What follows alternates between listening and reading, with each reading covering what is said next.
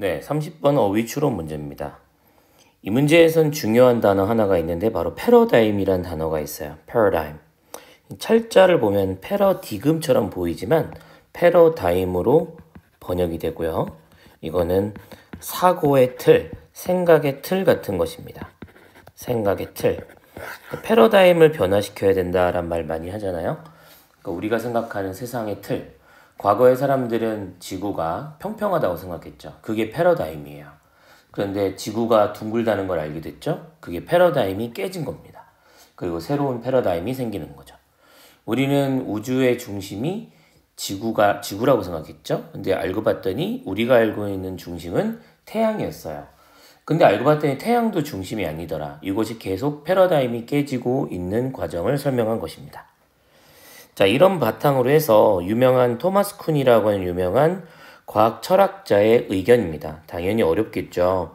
그렇지만 우리가 토마스 쿤이라는 사람을 알아야 문제를 푸는 것이 아니라 토마스 쿤의 생각을 영어 지문을 통해서 번역을 하고 제대로 읽어보는 것이 최고의 우리의 목표입니다. 자, 지문 해석해 보겠습니다.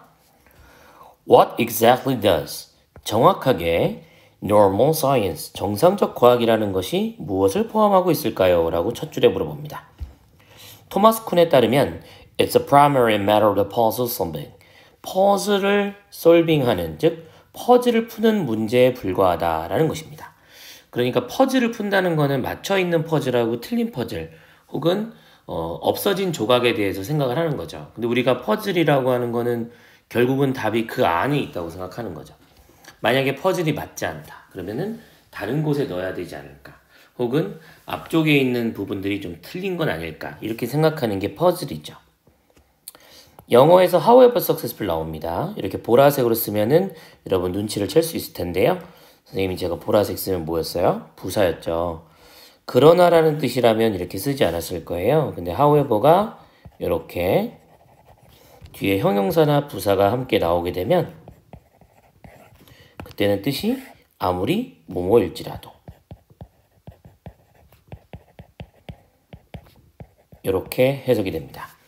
However successful a paradigm is 패러다임이 얼마나 성공하건 상관없이 얼마나 성공할지라도 라고 해석되는 거죠. 어떤 패러다임이 주어진 것이 얼마나 성공한다 할지라도 그 패러다임은 필연적으로 항상 encounter certain problems 특정한 문제점을 불러일으킵니다. 그것은 phenomena which it cannot easily accommodate, 쉽사리 수용할 수 없고 or mismatched between the theories in the prediction and the experimental fact 이렇게 되는 거죠. 병렬 구조인 중간에 나와 있는 5월을 체크해 보면 뒤에 나와 있는 미스매치에다가 이렇게 S나 ES가 붙어 있습니다. 보이죠? S나 ES가 붙어 있고 뒤에 보면은 미스매치드라는 단어의 동사에 ES 붙어 있는 녀석과 똑같게 생긴 건 하나도 없어요. 그래서 앞에 있는 캔낫이랑 같이 걸린다고 볼 수 있는 거죠. 그러니까 요걸 1번 동사, 미스매치가 2번 동사입니다. 병렬 구조는 구문적으로나 어법적으로 대등해야 됐다 했죠. 그러면 뒤에 있는 미스매치는 서로 안 맞아 떨어지는 거니까 어커버데이트는 수용하는 거라서 좋다는 거예요. 근데 캔낫이 되면 쉽사리 수용할 수 없고 서로 잘 맞아떨어지지 않는다라고 해석이 되는 것이죠. 그래서 phenomena 현상인데 그 패러다임이 쉽게 수용할 수 없는 패러다임 혹은 그 phenomena 현상이 어떤 구조가 되냐면 그 mismatch 이론이 갖고 있는 예측과 실험적인 사실들이 잘 맞아떨어지지 않는 현상 이런 현상이 있을 수밖에 없다는 것입니다. 그게 바로 문제점이죠. certain problems. The job of the normal scientist is 그러다 보니까 정상적 과학자들의 임무는 try to eliminate these minor puzzles 이러한 사소한 퍼즐들을 제거하려고 하는 것입니다. while making as few changes possible 최대한 패러다임에는 가능한 변화를 적게 가져가면서 적게 만들어주면서 사소한 문제점을 해결하는 것 이게 바로 정상과학자들의 임무인 것이죠.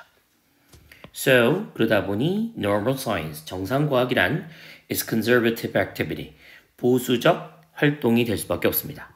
이 보수라고 하는 것은 정치적인 성향성의 보수가 아니라 지킨다, 보존한다라는 것입니다. 실제 정치에서도 보수는 기존의 질서를 지키는 사람들이죠. 진보는 어, 개혁하는 사람들이고 여기서는 정상과학은 자신의 패러다임을 지켜가는 사람이다 라고 볼 수 있습니다. 그러다 보니 its practitioner 그런 과학을 실행하는 사람들은 are not trying to make any 어떤 과학을 지구를 shattering 흔들고 부서뜨리는 발견을 만들려고 하는 것이 아니라 but rather just to develop and extend existing paradigm 현재 존재하는 패러다임을 연장시키고 발전시키려고 하는 것 이것이 이 사람들의 핵심인 것이죠. 그래서 구조는 나데이 버피가 나와서 practitioner는 새로운 발견을 통해서 현상을 어, 바꾸려고 하는 것이 아니라 현 상태를 그대로 유지하고 기존의 패러다임을 발전, 연장시키는 것이 목표다. 이렇게 적혀 있습니다. 자, 벌써부터 좀 어려울 수 있어요. 그럴 땐 잠깐 멈추고 위에서 붙어 있는 문장을 다시 읽어보셔도 괜찮습니다. 자, 다시 계속하겠습니다. 쿤의 말에 따르면 normal science, 정상적 과학은 does not aim at 어떤 것에 지, 어, 목표를 두고 있지 않습니다. fact and theory 어, 이론과 사실에 대한 어떤 novelty, 참신함을 목표로 하지 않습니다. 참신함, 참신성.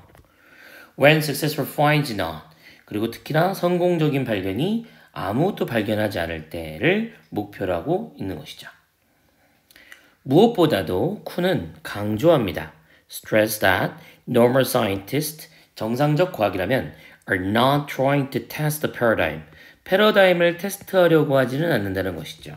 그러니까 기본적인 패러다임이 맞다라고 생각하고 다른 부분이 틀리지 않았겠느냐라고 생각한다는 것입니다. 오히려 반대로 그들은 accept paradigm unquestioningly 질문하지 않고 즉 거기에 대한 질문을 갖지 않고 그냥 패러다임을 받아들입니다. 그리고 conduct their research within the limited sets. 그것이 두고 있는 한계 안에서 연구를 진행하는 것입니다. 그것이라는 것은 바로 패러다임일 텐데요.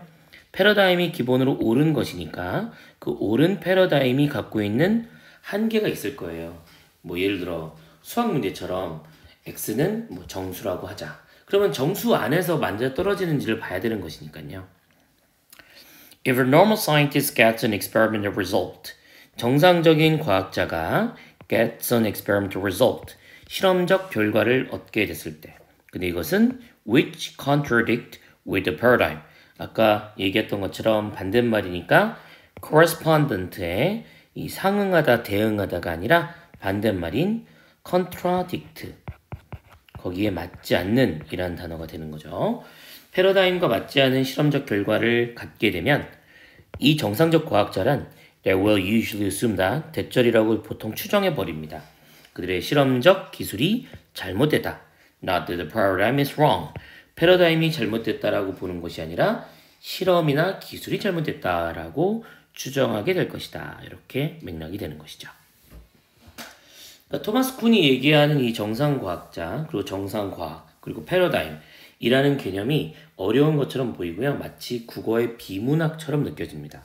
하지만 이런 부분을 바탕으로 여러분이 공부를 해보시면 좀 더 도움이 될 거고 학교 내신 시험은 이 내용을 꼭 알아야 되는 내용이라기보다는 전체적인 배경을 바탕으로 어, 영어적인 측면에서 질문을 할 확률이 높겠죠. 그래서 이런 부분을 공부해 두셨으면 도움이 되겠습니다. 네, 구문 독해는 여기까지 진행하겠습니다.